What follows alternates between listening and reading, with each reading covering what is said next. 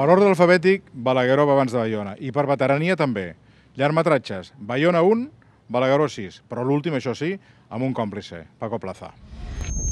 Jo conec el Bayona, a més, des de fa molts anys, eh, quan, jo encara feia fanzines i ell eh, feia els deberes, no?, d'alguna forma.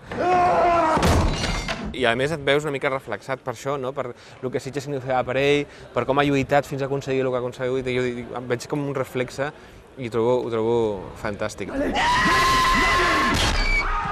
todo este auge que parece ahora que, está habiendo de- del cine de género, lo que viene es a ayudar y a, y sumar, ¿no? O sea, creo que, que, que, por ejemplo, una las- cualquier película que tenga un éxito eh, descomunal, como yo creo que va a ser el- el- y deseo el caso del orfanato, nos ayuda a nosotros, ayuda a todos los que hacemos cine de género en España, de alguna manera a, a- a poner una, una pica en Flandes. ¿Qué cojones dice este tío?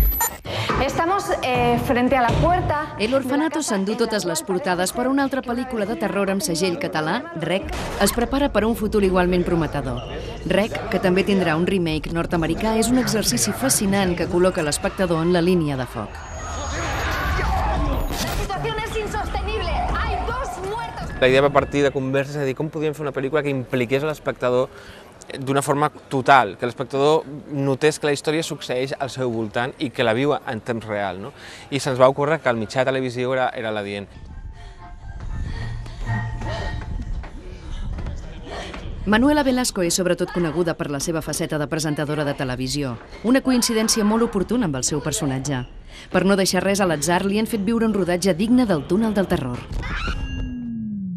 Había veces que yo veía que venían personas a maquillaje y, y no sabía qué estaban haciendo.